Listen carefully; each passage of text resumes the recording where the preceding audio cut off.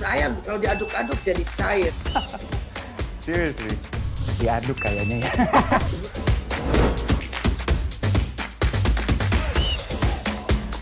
Pro luar negeri gimana ya? Ini demi kemajuan bangsa Indonesia.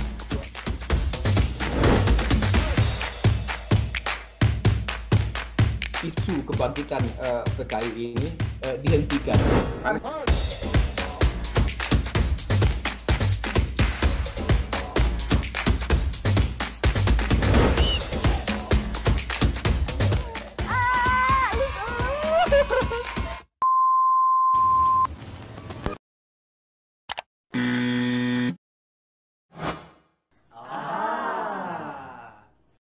Medcom.id, a part of Media Group News.